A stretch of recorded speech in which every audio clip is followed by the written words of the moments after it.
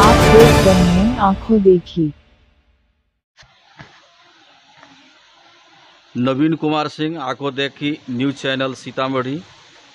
अभी जन अधिकार पार्टी प्रदेश अध्यक्ष राघवेंद्र सिंह कुशवाहा से खास बातचीत बिहार के ज्वलंत मुद्दा पे।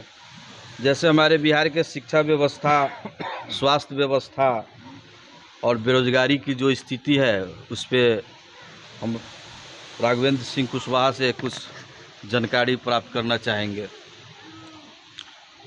नमस्कार। आपके आँखों देखी के सभी श्रोताओं को हम बधाई देना चाहते हैं आपके माध्यम से कि आपने बिहार के कुछ सुलगते सवालों को जनता के सामने में रखने का प्रयास किया है। मैं आपके इस प्रयास की सराहना करता हूँ। सर अभी जो बिहार की सबसे बड़ी कुव्यवस्था बोले या लोगों की समस्या बोले या हमारे पढ़ने वाले जो गरीब लोगों के बच्चे हैं उस शिक्षा व्यवस्था पे आप कुछ कहना चाहेंगे? देखिए वर्तमान शिक्षा व्यवस्था जो सरकारी शिक्षा व्यवस्था है इस राज्य में ही नहीं, बल्कि पूरे देश में दोहरी शिक्षा व्यवस्था चल रही है। एक ऐसी शिक्षा व्यवस्था जिसमें पैसे वाले के बच्चे पढ़ते हैं और दूसरी ऐसी शिक्षा व्यवस्था जिसमें मजबूर लोगों के बच्चे पढ़ते हैं।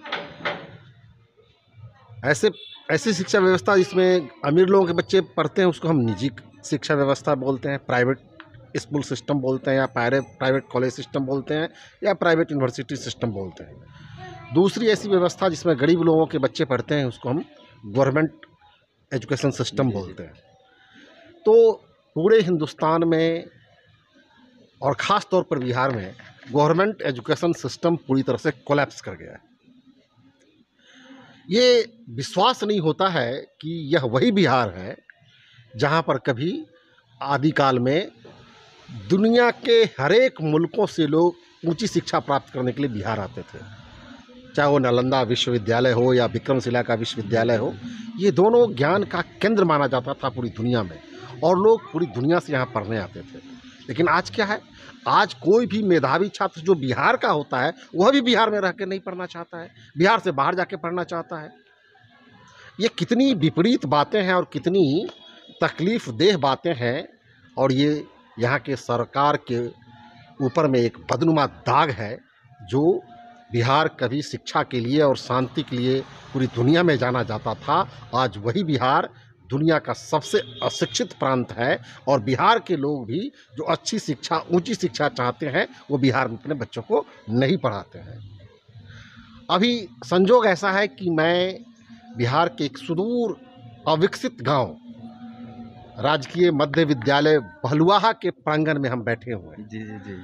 आप देख सकते हैं कि यहाँ दो तरह के बिल्डिंग है। एक पुरानी बिल्डिंग है जो जर्जर अवस्था में है।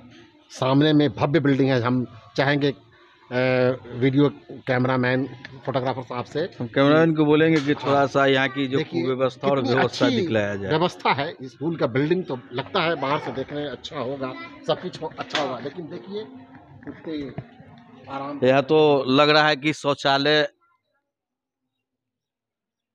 देखा जी एक एक मिनट का यहाँ का वीडियो फुटेज देखना संजोग से हम लोग यहाँ आए हैं तो यहाँ के कुछ ग्रामीण बच्चे भी हैं ये भी लोग बताएँगे कि क्या है स्कूल की स्थिति।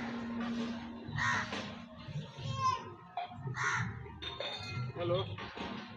तो तो तो कमोबेश यही स्थिति है पूरे बिहार की। स्कूल के नाम पर तो बिल्डिंग सब जगह बन गए हैं लेकिन गुणवत्ता नहीं है। यहाँ शिक्षक जो है उनके अंदर में क्वालिटी एजुकेशन का कोई तजुर्बा नहीं है। इनका वेतन भी अब अच्छा खासा हो गया। पहले ये था कि लोगों को लगता था कि एक हज़ार, डेढ़ हज़ार का शिक्षक है, लेकिन अब आजकल जो भी प्राइमरी स्कूल के शिक्षक हैं, उनको तीस हज़ार, पैंतीस हज़ार वेतन भी मिल रहा है। वो जो सम्मानजनक है, किसी भी निजी विद्यालय में इतना वेतन नहीं मिलता है। उसके बावजूद भी सरकारी स्कूल के जो शिक्षक हैं, वो पढ़ाना नहीं चाहते हैं। बच्चे भी आते हैं तो पढ़ने कम आते हैं, वो खिचड़ी और मध्यान्ह भोजन की तरफ़ उनका ध्यान रहता है। हमें ये लगता है कि जो सरकारी विद्यालयों में पढ़ने वाले बच्चे हैं, उनको इसी तरह का गुणवत्ताहीन शिक्षा मिलता रहा तो भविष्य में एक चपरासी की नौकरी भी उनको मिलने वाली नहीं।